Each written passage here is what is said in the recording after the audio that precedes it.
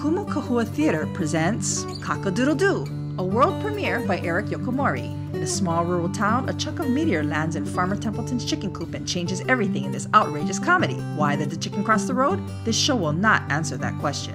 Cockadoodle Doo runs March 27th through April 27th. For tickets and information, go to kumukahua.org or call 536-4441. Kumu Kahua Theater, original plays for and about Hawaii.